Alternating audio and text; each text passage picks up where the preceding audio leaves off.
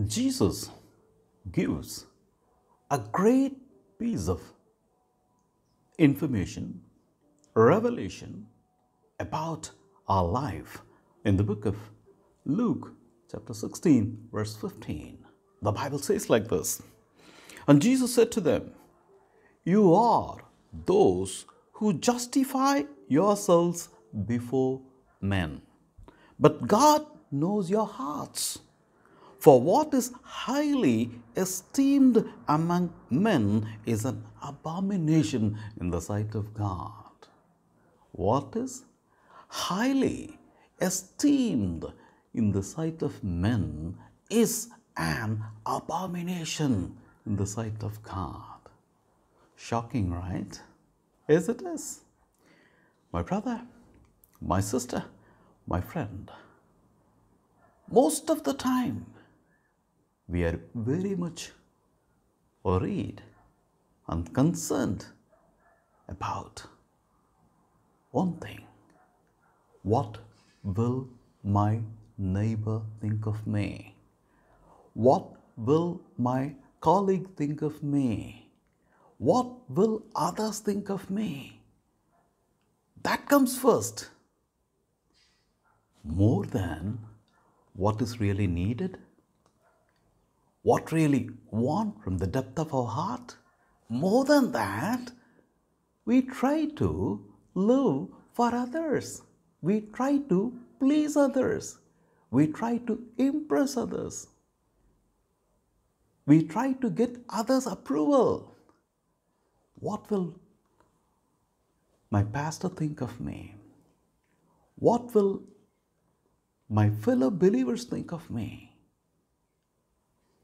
What will my family think of me? And so on and so forth. Very often, we keep thinking like that, and we have been living for that.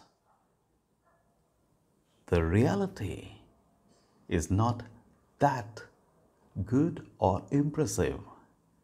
God makes it very clear what is highly esteemed in the sight of men is an abomination to God. My brother, my sister, my friend, we try to be fit for the world. We try to impress others. We try to get others' attention by living a fake life most of the time. It is not us. It is not you. It is not me. We try to live like someone else in order to please others, impress others. Here, God is warning us. He says that what is highly esteemed in the sight of men is an abomination to God. We want to be fit before the world. We want to be fit before men. But most of the time, we ignore the truth, the reality, the waiting reality. We have no problem to be fit before God or not. We have no problem with that. Whether we are fit to God or not, we have no issues with that. We have no problem with that. We are so much worried what will others think of me than what will God think of me or think of you or think of us. What will Jesus think of us? What will the Holy Spirit think of us if we behave so, if we live so, if we talk so, if we do so? Ask yourself, my brother, my sister, my friend, Jesus said, What is highly esteemed among men is an abomination to God in Luke chapter 16, verse 15, and the Bible makes it clear why he said so in the book of 1 John chapter 2, verses 16 through 17. The Bible says like this For all that is in the world, for all that is in the world, the lust of the flesh, and the lust of the eyes, and the pride of life is not from the Father, but is of the world. The lust of the flesh, lust of the eyes, pride of life, these three things, which is dominating the whole world, is not from God the Father.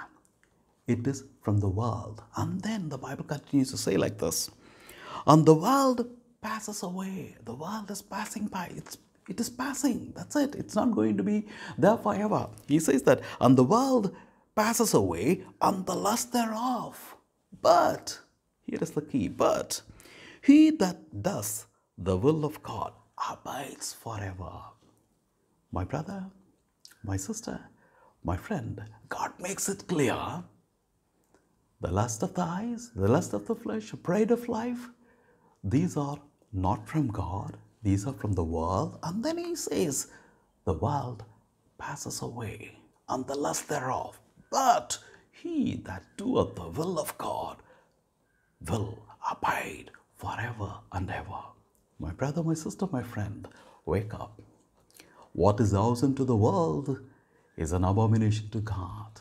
Wake up, wake up. Stop worrying about what others will think of me and start concerned about what will God think of me. Am I fit to Jesus? Am I fit to God? Am I fit to the Holy Spirit? Am I fit to the kingdom of God? Am I fit for heaven in eternity? Question yourself. Think like that and do something for that. My brother, my sister, my friend, God loves you. Jesus loves you. I love you. Until we meet again, may God continue to be with you as well. Amen. Hallelujah.